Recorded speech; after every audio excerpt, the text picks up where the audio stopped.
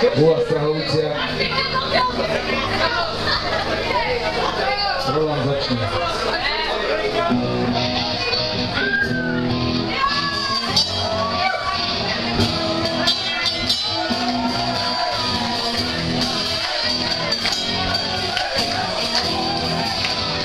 Nothing you get, Jack.